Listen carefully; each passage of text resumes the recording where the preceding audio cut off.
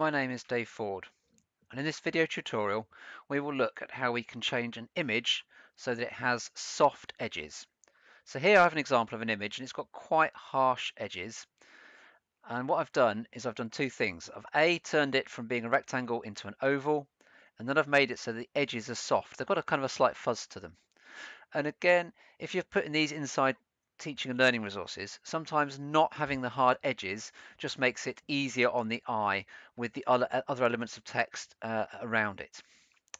So in order to do that, I'm working in PowerPoint. So even if I was going to be using the image in Word or Excel, I would still create it in PowerPoint and then copy and paste it across. So here I have an image and it's a rectangle.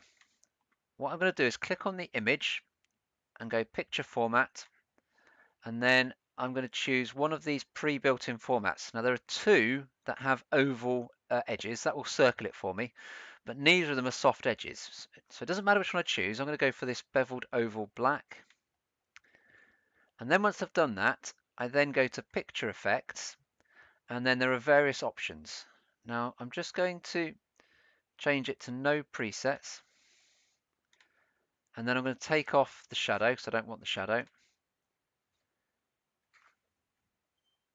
But when I get to soft edges, we can then choose which amount of softness we want. So I'm just hovering over the options until I get the one that I want.